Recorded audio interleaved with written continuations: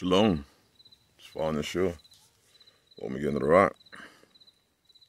Just because the media is not talking about the food crisis, and just because you're not seeing people operate as though as though there is a food crisis, does not mean that there is not a food crisis.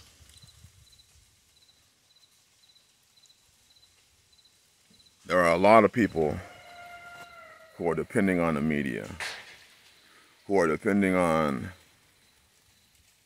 others to tell them what is happening. But all you have to do in a lot of these cases is just pay attention to what you're seeing.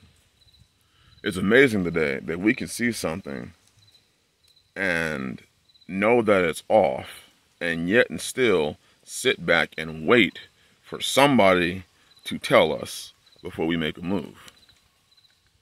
Before we try to preserve ourselves, you know, and all these Hollywood movies. I'm gonna go back to the movie uh, uh 2012 or the Greenland movie, or a lot of other Hollywood movies.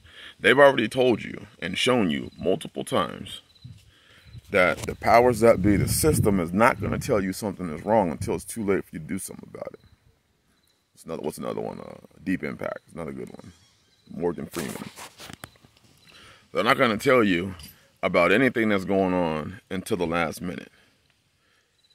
Oh, the ones that they plan on saving, they will know. But for your average individual, for your average person, you're not going to hear about it until it's too late. So the fact that, you know, it reminds me even of, of, of repentance, sin. For a lot of people, you're not going to know that you were in sin until it's too late. By that point in time, you may not be able to repent. You may not be able to make amends. You may not be able to uh, pay recompense for the things that you have done. But on average, most people just sit back and they're just waiting for somebody to come and tell them that things are bad. When you can clearly open up your eyes, you can clearly see it, you can clearly visualize it. All you got to do is walk to your local store and look at the shelves. Well, and only my, my store is only missing this, this, this, this, and this. Yeah, do you remember three years ago where store shelves were full all the time. Maybe four years ago. Where store shelves were full all the time, where there wasn't shortages. Now shortages are normal. And it's amazing that how easy it is for us to adapt to the new shitty situation. It's almost like people like and, and love adjusting. We can adjust to shit all day long. Well, I'm waiting for somebody to tell me. So the fact that they haven't told you should already indicate there's a problem with their knowledge. There are food shortages. It's going to get worse. If you keep sitting down waiting for somebody to come and explain it to you and tell you when when your eyes are showing you something. Just, just go based off what your eyes are telling you. Go to your local store. Look at the shelves. If you see shortages, that should be an indicator. When you go to your gas station, you see that there are that, that gas station is is low in fuel or has certain fuels that they're not offering. That should be an indicator. That should be an indicator that maybe you should go do some research and see is this a nationwide problem or is it just a situation in which your gas station? We just we're just so used to things returning back to normal that when things are not going to return back to normal, we're the last ones to know. We're the last ones to figure it out. Because we're sitting back and we're constantly waiting for somebody else to tell us when we should start getting ready. You got all these prepper channels telling him, but you got to get ready, you got to get ready, you got to get ready. Like, why are you waiting for somebody else to tell you you got to get ready? Why? Can't you go based off of what you see? It's like driving on a freeway. Let's say they they they they they they, they shut down a bridge because they're doing repairs on it. So the bridge, you know, let's say they there's a whole chunk of the bridge missing, and you got all these warning signs that say, you know, uh, uh, no through ahead or bridge not finished or road closure. I've seen people that have their GPS. Stories on this. Who have their GPS, who will literally follow their GPS and drive around the warning signs because their GPS said go that way. They're ignoring what they see. They're ignoring the signs that they see because their GPS is telling them to keep going ahead and their GPS hasn't been updated. And they will literally drive off a bridge and into a stream or drive off a bridge and uh, uh, onto a, a, freeway below, drive off their bridge, or, or or end up stuck, can't turn around. Happened to a semi truck. He was driving around these things. Bridge was closed. Couldn't go in reverse. All the different things that they have. I'm like, you're missing all the signs. All these signs that are laid out in front of you to let you know that the bridge is closed and it's not completed. You drive around them. You're driving around what you see because of what this thing is telling you. The media is telling you they're the GPS. They're telling you where to go, where to do, how to spend your money, and that's all you're you're you're, you're paying attention to. You're not paying attention to your eyes. You're not paying attention to the things that are in front of you, the warnings that are in front of you. And many do this to their own destruction. Many do this to their own demise. Not just there, but your families, men. Your own demise. We know how to adapt to shit. But it's funny that we don't. That's not funny at all. It's really sad that with all this so-called knowledge that we have, with all, despite all this so-called biblical understanding we have, we can't understand the simplicity of the Bible. We can't understand the simplicity of the signs. They're pretty damn simple. It doesn't take a rocket science to look at a scientist to look at this stuff. So when I started this stuff, started storing food and stuff like that years ago, over 12 years ago, 13 years ago, 14 years ago, 14 years ago, I wasn't reading sign. I mean, I, I wasn't waiting for somebody to come and tell me.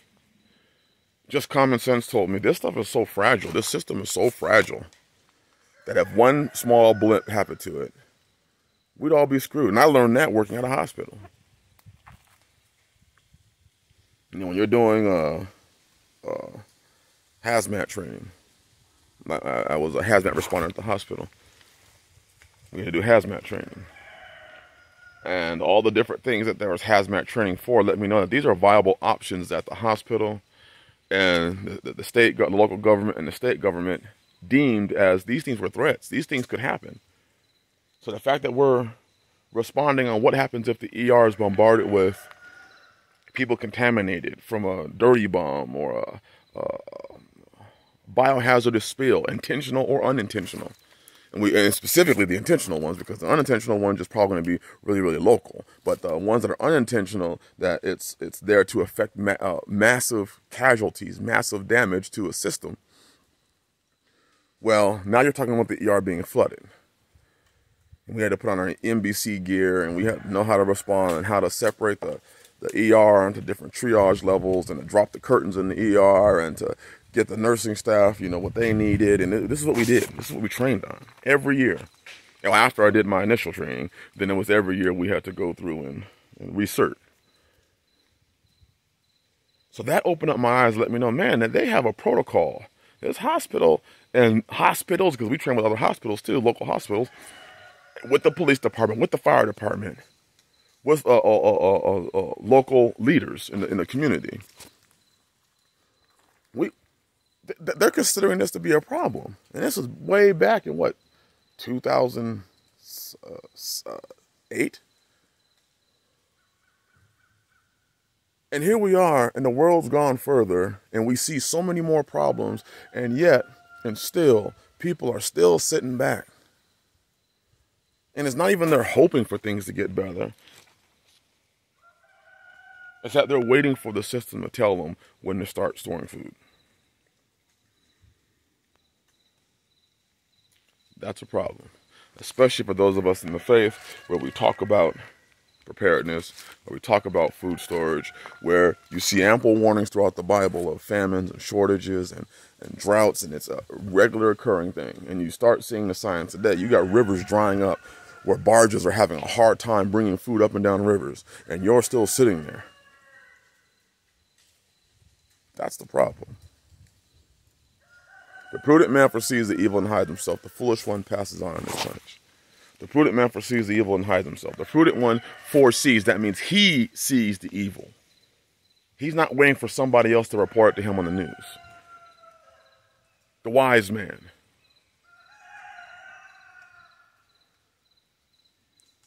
Yet today we got everybody talking about they wise because they can speak the Hebrew.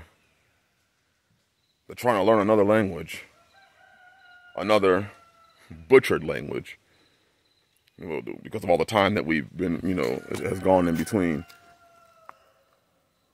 They spend their time trying to understand that, but they don't even understand English. They don't even understand what they sing in front of their face. I'm not saying there's anything wrong with learning or striving to understand that language, but I'm saying that we got people who are trying to learn that language and they cannot see what's happening right in front of their face but they want to argue with you. How about we learn to take care of our families, to do what the book says?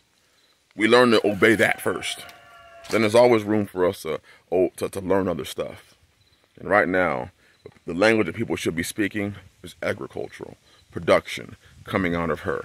That's the language we should be speaking. But that's the language that's abhorred. Yeah, I'm not saying there's anything wrong with learning the Hebrew. But our focus should really be our families right now. And if this whole thing blows over, hallelujah. And if it doesn't, and we were warned, they did nothing about it, what does that truly say about our discernment? Bless you. Shalom.